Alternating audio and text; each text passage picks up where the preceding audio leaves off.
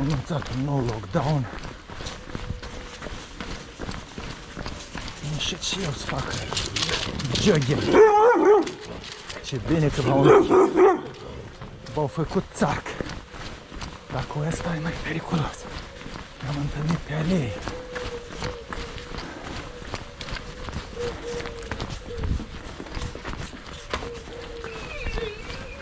Mai bine cedez. E fără botniță. Și el și proprietarul prin coace tot așa. Periculos.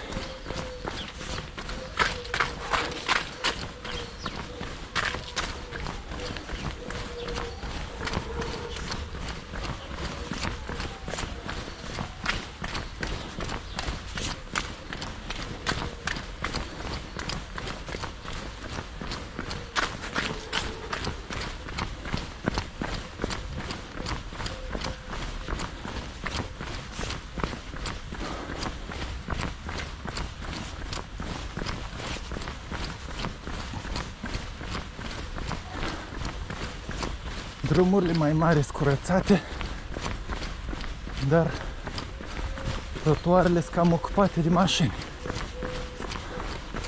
Dacă există.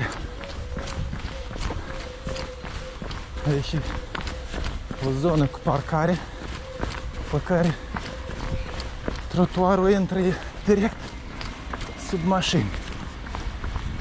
Inclusiv rondul ăsta sensul girator în formă de triunghi ocupat de mașini. Poliția ar putea să bage de amenzi aici. Târgu Neamț, Colt cu Topolovăț, dacă ar vrea.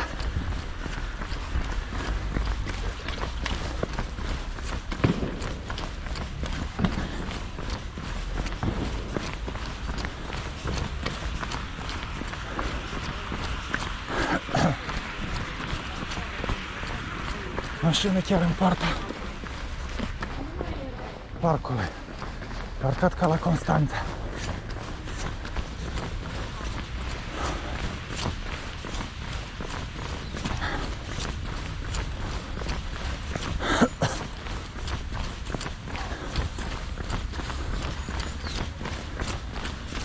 O, mai suntem alergători și alergătoare.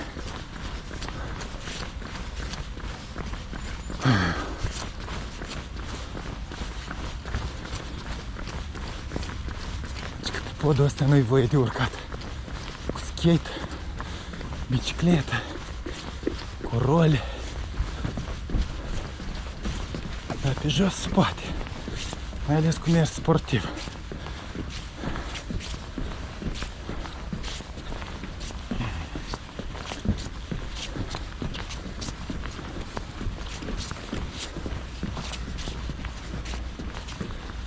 De regulă, după ce lipsesc o vreme din București, revin pe podul ăsta să privesc de sus.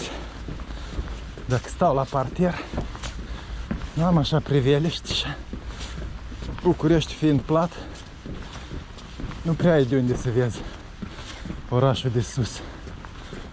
Și iată, o ocazie faină.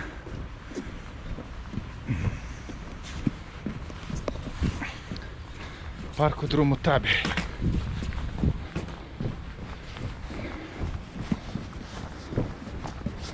Avem și noi porumbei și coțofene.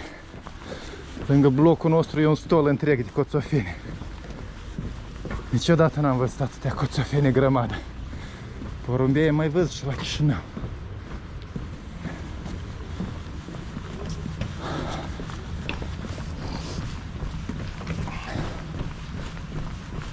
Aici un teren cu aparate de sport pentru bătrâni și copii. Pentru cei de vârsta și de Constituția noastră nu există. Bara e la 1,20 m și 1,50 m.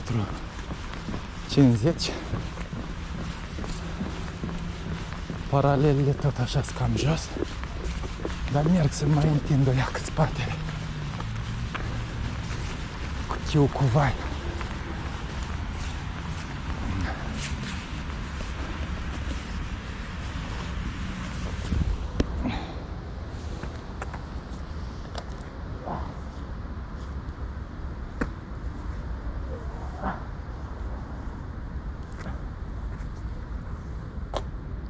Cam jos.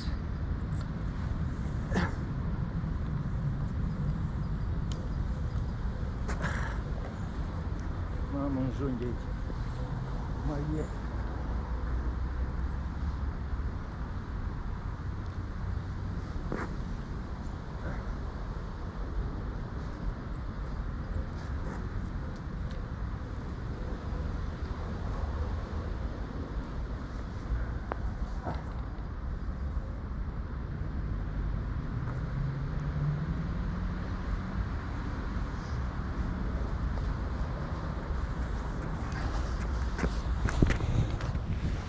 Continuăm alergația. În jurul serelor.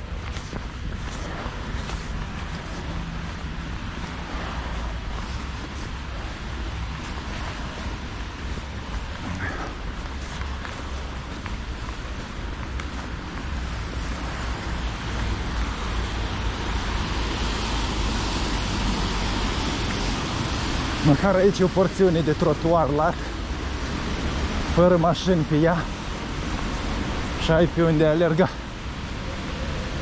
în bucla asta. Început să și o pistă biciclistică, dar nu o văd desenată ei. Doar de câteva luni asfaltul și stația de metro. Lumea nu prea circulă cu metro. Ori nu a aflat că s-o dat în exploatare, ori sistemic o să se închidă amuș și rămâne, iată, în coadă la mașini.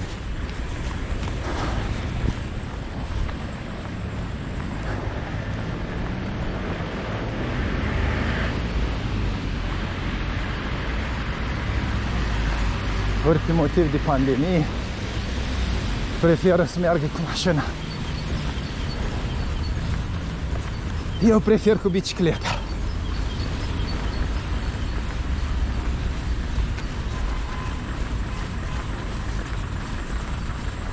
Sau pe distanțe scurte pe jos. La Chișinău merg cu trotineta și transportul public acolo dealuri. Cu trotineta te dai vesel la vale, de la deal.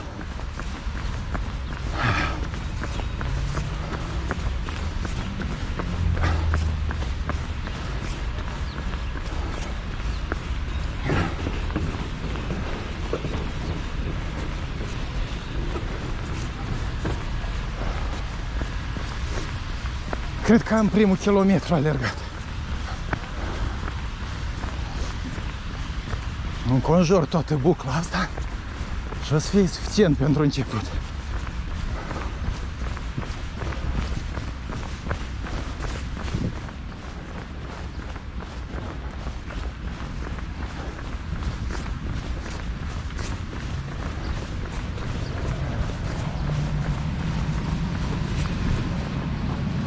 Țară atât de habotnică și totuși atât de multe garduri vopsite în curcubeu. Bine, scrie în Biblie că curcubeul e un simbol de legământ între Dumnezeu și oameni. Dar nu știu de ce tot habotnicii îți deranjați că curcubeul a ajuns simbolul diversității al drepturilor omului, mai ales a al persoanelor LGBT. Și iată, au ajuns unii creștini, cretini, să urască curcubeul.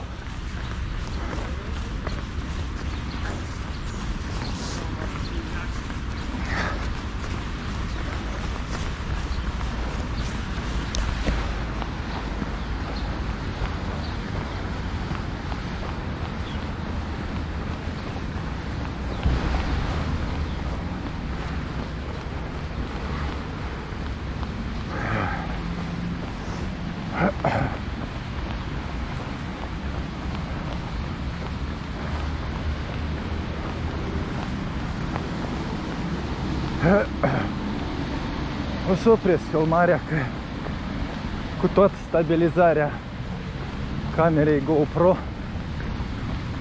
cred că nici nu-i tare plăcut. Să privește o imagine buțăită și nici mie nu mi-e comod să alerg cu o mână ocupată. Așa că bag aparatul în buzunar și mă duc mai departe.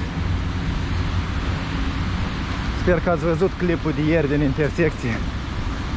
Polițiști și militari care poartă masca de mântuială. Era și cu o mașină parcată aici. Ilegal. Cu mesaj că se vinde. Azi a rămas în o mașină a florarilor. Sau a florăresă. O fi intervenit poliția între timp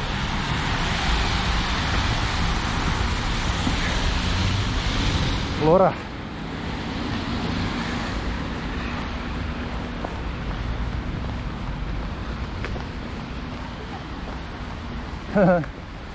Multă lume la stație.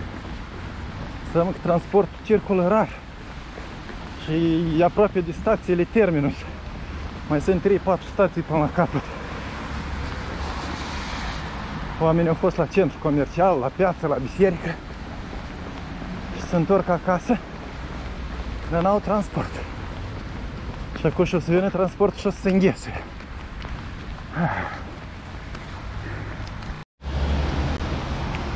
Ciudat și paradoxal.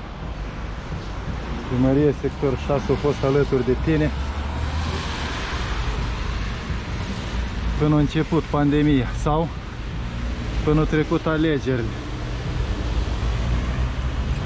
S-a schimbat conducerea primăriei și la 6 și la municipiu și gata. Punctele de informare și de asistență medicală au fost evacuate.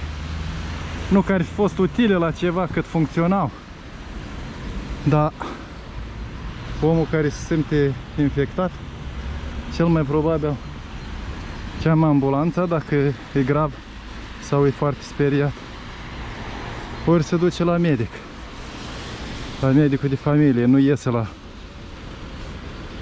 punctul de informare din stradă. Și la medic, cine știe, peste ce nimerește. Numere de MAI. Nu știu unde au venit medicii, dar nu văd să fie cineva în mașină în afară de șofer. Au fi intrat în stația de metro, în piață. Când scoarul ăsta nu-i văd.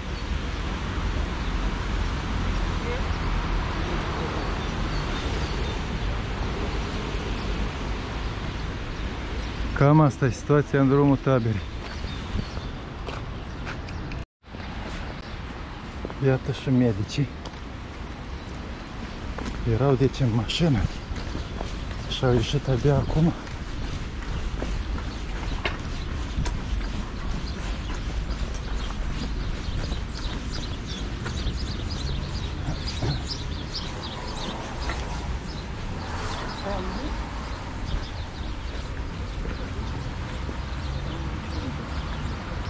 Hai, intră în scara blocului. Nu la bancomat. La bancomat te apucă inima doar când vezi că ți-au dispărut bani. Altfel,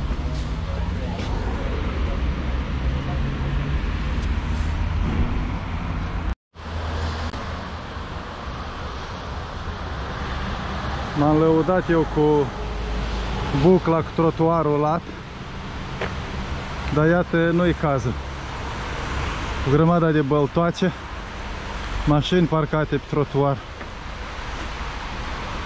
care ca să intre și ca să iasă, fie trec prin eh, zona asta gloduroasă sau vara e prăfuită, fie merg direct pe trotuar. Bine, acolo E zona reparată, aproape de stația de troleu. Și văd că acolo e îngrădit accesul și cam așa ar trebui să funcționeze treaba. Sper să repare și din coace și să închid accesul. Să rămână pentru bicicliști, bicicliste, persoane cu trotinete, dar cineva ar trebui să curăță și zăpada. nu e așa? Că legile românești interzic să ieși cu bicicleta când asfaltul, partea carosabilă e acoperită cu polei sau zăpadă. Și omul lângă casa lui vede că e curățit, iese, dar aici găsește zăpadă. Și nu doar că se poate accidenta, dar poate și să fie amendat de poliția românească predispusă la abuzuri și interpretări absurde ale legilor. După cum vedem, capitala României nu prea e prietenoasă cu transportul alternativ sănătos, ecologic și nici cu mersul pe jos, că nici trotuarele nu au fost curățate de zăpadă.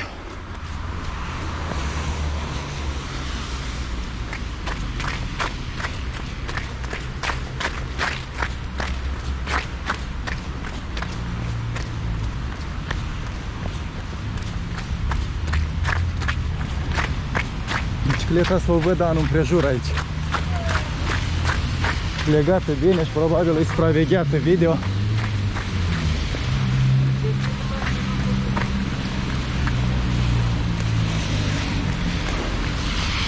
Aproape că am înconjurat bucla.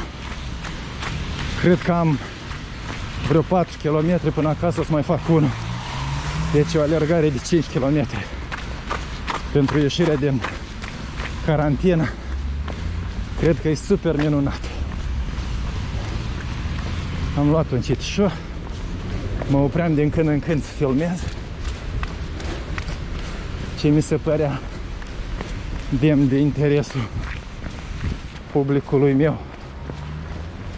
Și ia câte mă sâmbătă dimineața fresh pregătit de weekend și de o nouă săptămână de primăvară cu zăpadă în an pandemic.